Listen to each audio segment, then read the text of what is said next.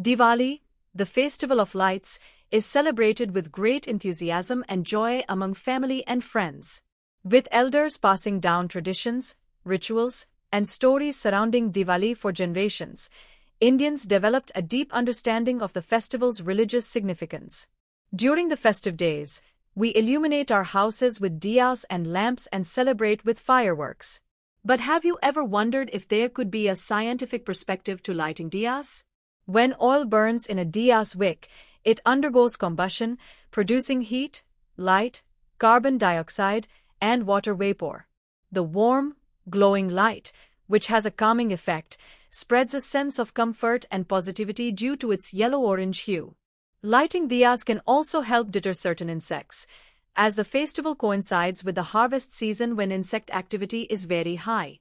Using natural oils like mustard oil to light diyas adds a mild insect-repelling aroma. Stay tuned to discover more fascinating science facts about the Festival of Lights.